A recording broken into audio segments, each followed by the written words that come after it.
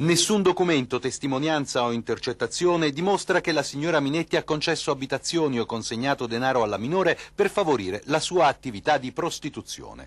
Questo è il passaggio fondamentale della memoria difensiva degli avvocati di Nicole Minetti, secondo cui la loro assistita è completamente estranea alle accuse di favoreggiamento della prostituzione avanzate dalla Procura di Milano alla consigliera regionale nell'ambito dell'inchiesta sul caso Rubi.